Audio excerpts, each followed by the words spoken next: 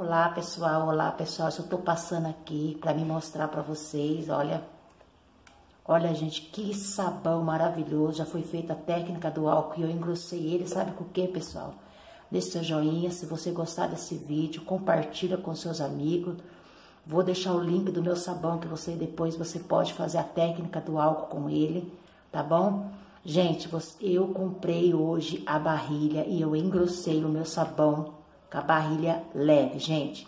Aqui a gente não tem muito acesso com a barrilha leve, mas eu consegui encontrar na casa onde vende produto para piscina. Olha, gente, muito fácil mesmo, eu adorei. Quero agradecer meus seguidores que têm deixado comentário aí, falar, Márcia, eu engrossei o meu com barrilha leve, né? Porque às vezes a, a o bicarbonato não deixa com essa espessura assim, gente. Mas a barrilha leve, um pouco que você usa, olha só, gente, que lindo que tá. E outra, fora que a barrilha leve, ela tem o poder de clarear, ela tem o poder de limpar, tá? Então, quando você for usar, gente, não deixa a roupa colorida de molho, não.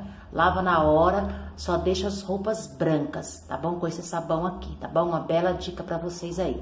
Então, até o próximo vídeo. Espero que vocês tenham gostado aí, gente.